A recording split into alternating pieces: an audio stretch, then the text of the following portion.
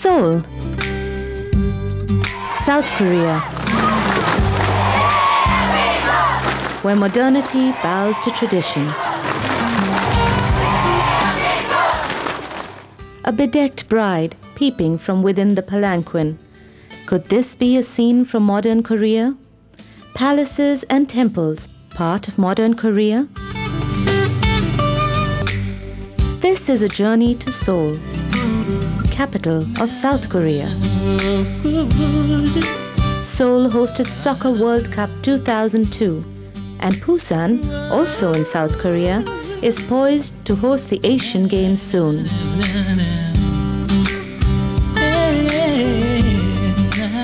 Seoul epitomizes Korea and can be considered its soul.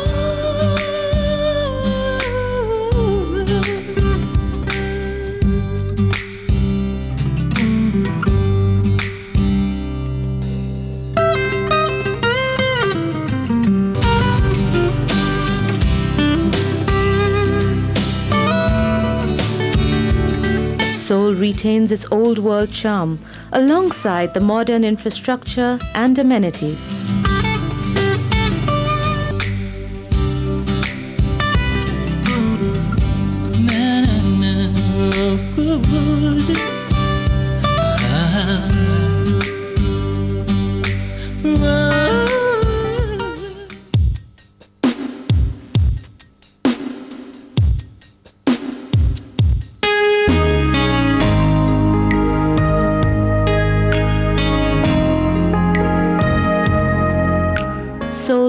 Retains its Buddhist soul despite years of Chinese domination stressing Confucianism.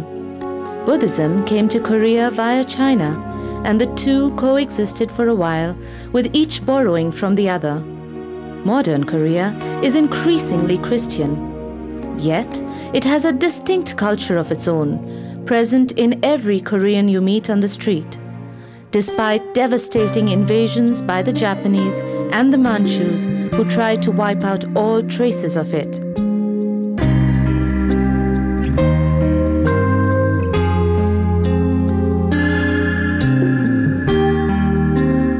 Investments in Korean energy and enterprise shine forth in high rise buildings, excellent roads, and subways. Modern Korean art, which is sleek and striking, greets you in the form of sculpture and reliefs to break the monotony of concrete. Huge monitors placed at strategic places advertise Korean products, most of which are already household names internationally.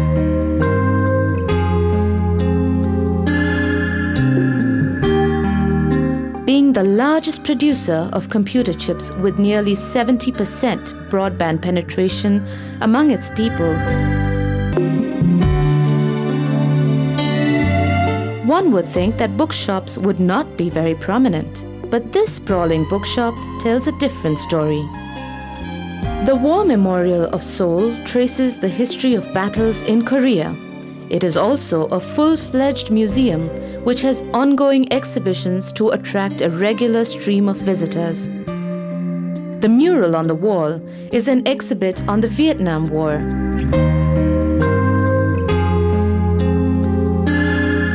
The National Museum and Folk Museum document Korean life through the centuries with the help of lifelike exhibits and a virtual interpretation center.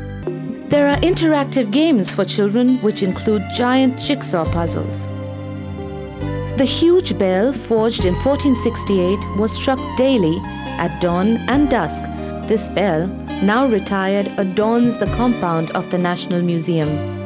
The seven story stupa with eight bodhisattva guardians called asuras strike a chord.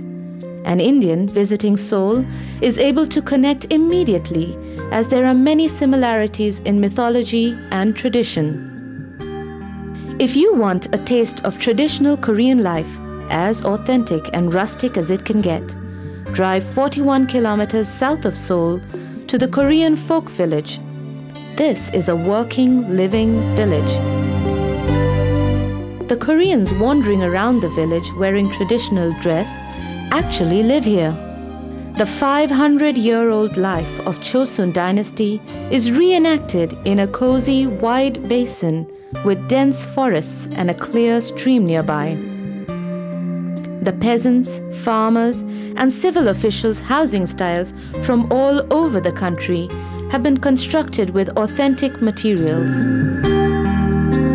The traditional wedding in House Number 9, enacted for the benefit of tourists and young, impressionable minds from Korea, is always well attended. School children are there in large numbers.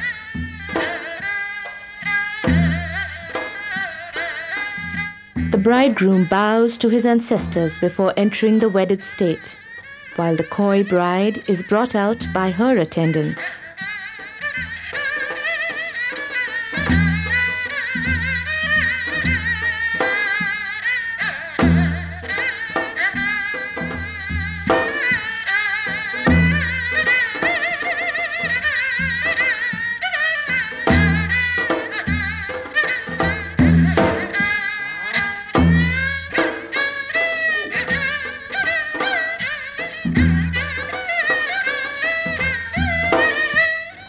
Ceremonies and the prayers offered in Hangul remind you of the Havans conducted in Sanskrit. The language might be foreign, but the body language of the bride, groom, and relatives look very familiar to an Asian.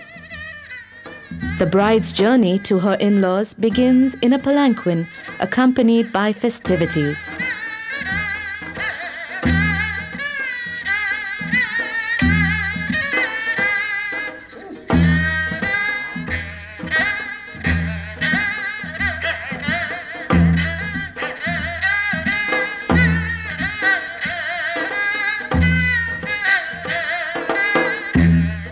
The folk village is also an ideal site for shooting a historical for Arirang TV.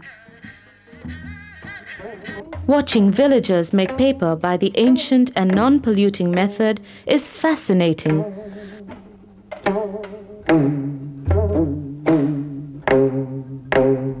So are the food stores with traditional food items on display. Masks have great significance in Korean art, and these masks of various moods beckon you from the shop.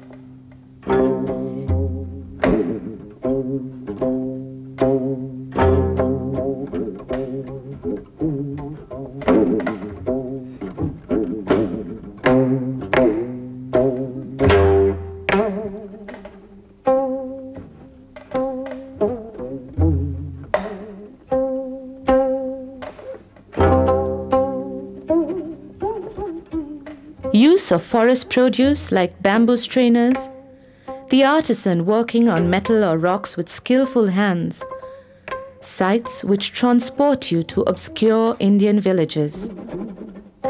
Back on the bus to Seoul, the sights and sounds of modern Korea beckon. Autumn months see Koreans out till late in the night. Food stalls with tempting displays beckon at every corner.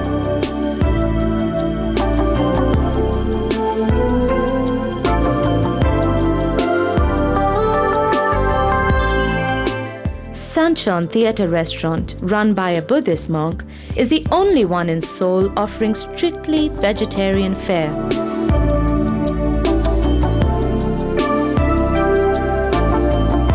Shopping malls on the subway are also open till late into the night.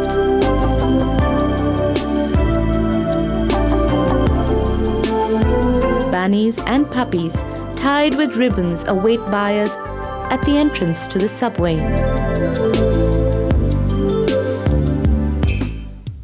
Bukhansan National Park. It is hard to find an overweight Korean. How do the sedentary office goers of Seoul keep trim? The secret, it seems, is as much in the nutritive food habits as in the Korean love for the outdoors. Passion for hiking lures thousands to the mountain each weekend.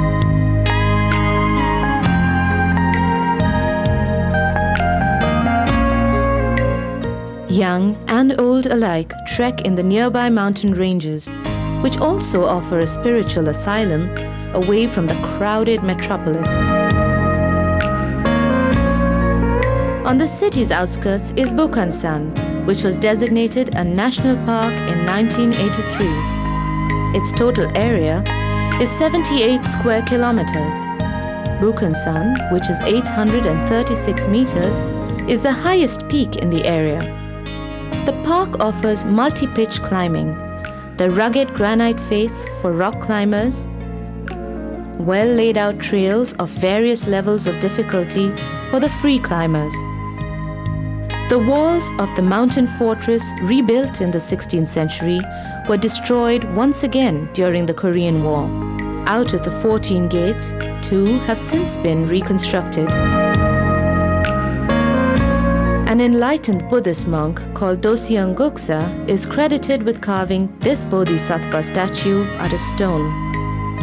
The temple at the edge of a cliff surrounded by pine trees suddenly comes into view after you have climbed halfway through.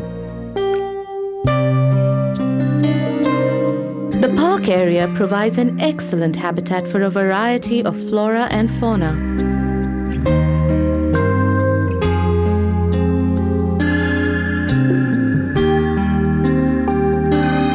Well thought out environmental and educational messages greet you at strategic places.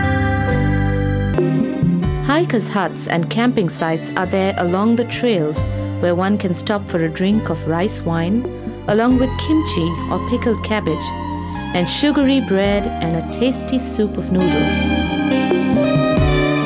The temple at Dosyonsa is alive, with worshippers' wish lists and lotus lantern decorations hung there on Buddha's birthday. Dosyang Guksa, who built this temple, had a thorough knowledge of Buddhism and astronomy and decided to build the temple where the water is clean and the mountain is beautiful. He foresaw the gradual fading of Buddhism in the coming years, but believed in Buddhism's spiritual renaissance. One has reached the top of the mountain, the white granite peak, and the temple with stone carved Buddha the effect of this elegant combination adds to the sense of peace and calm all around. The presiding Buddha figure envelopes the mountain and its climbers with a raw spirituality devoid of religious bindings. The colors of autumn have just begun to announce their arrival, and the temple looks serene and ageless through the autumn leaves.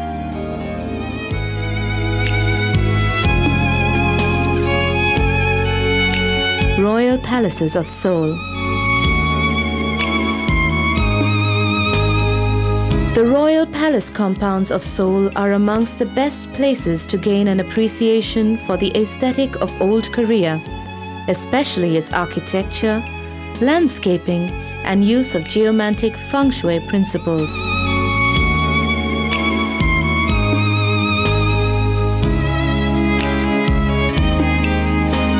The bracket work in the eaves of the buildings with its psychedelic decoration catches the eye immediately.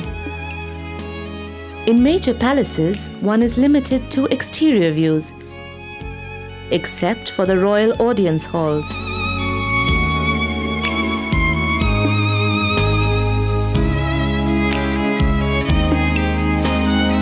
Unfortunately, most of the buildings were razed or dismantled and moved during the Japanese occupation. The finest examples of Korean ceramics, calligraphy, paintings, and furniture were carted off to Japan, where they remain to this day, mostly hidden away in private collections.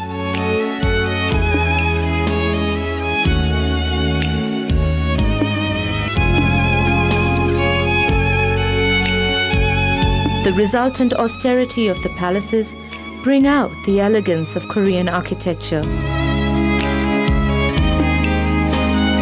Containing hundreds of structures of various types.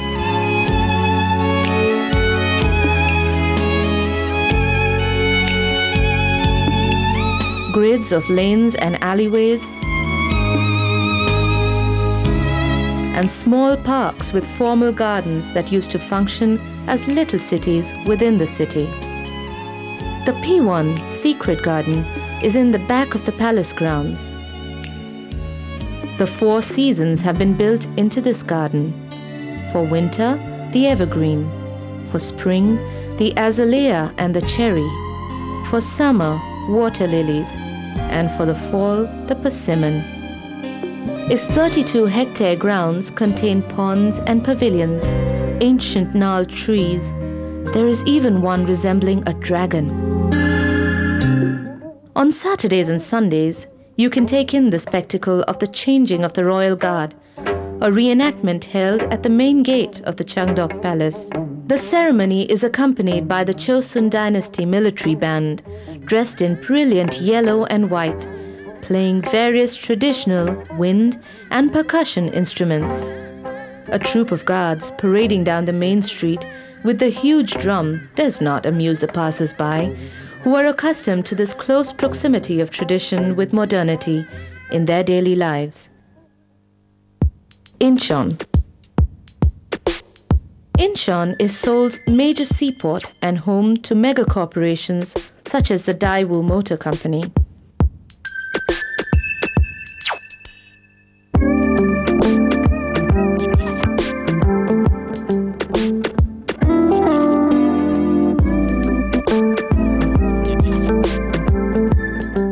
Is just a ferry ride away from this port. As you enter Wolmido, the peninsula on the northwest side of the Incheon harbor, fish and vegetable markets greet you. But this is really a trendy place with Korea's longest underground malls filled with electronics, chocolates, ginseng, and other mementos of Korea.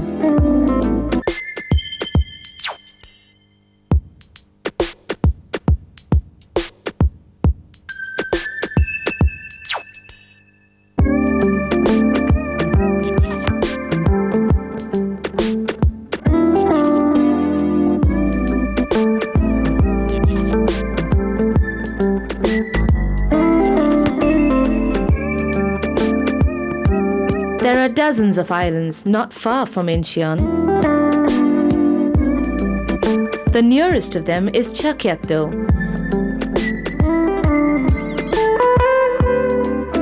Heavily forested with peonies or chakyak and pines.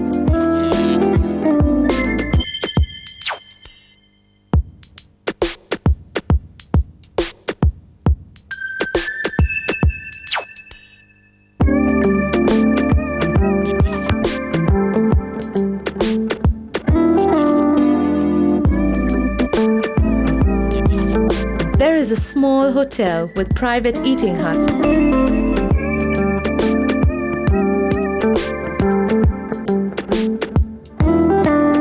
The right place to relax for an overworked executive during the weekends. The ferry journey is delightful.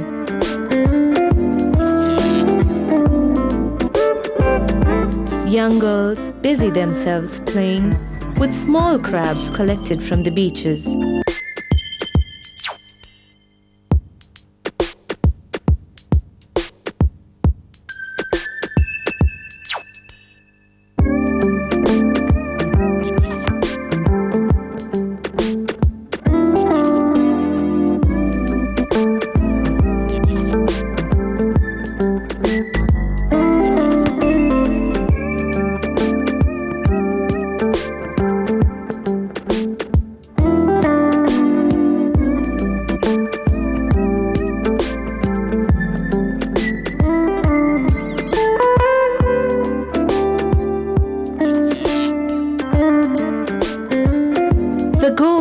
Setting sun reflected in the Yellow Sea pays tribute to the tremendous natural beauty of Korea.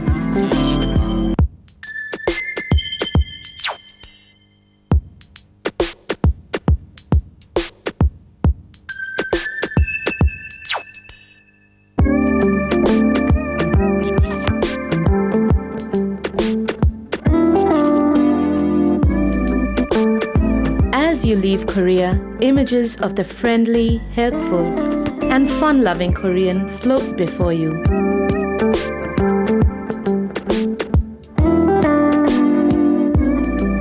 Language barrier. If you understand the language of mutual respect, cheerfulness, and innocence,